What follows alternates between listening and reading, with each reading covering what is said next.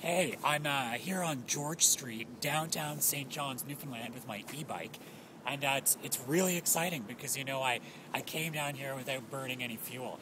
I went right across St. John's uh, and right downtown. I've been here all day. I'm on my way home now, but I just I wanted to show you the e-bike and tell you a little bit about it.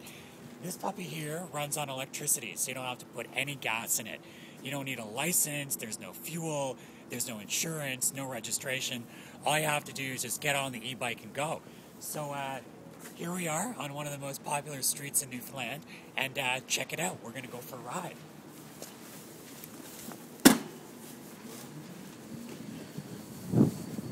And it's just that easy. So you get on and go. You can pedal, but you don't have to. Uh, anyways, I'm on my way home. This is an e-bike.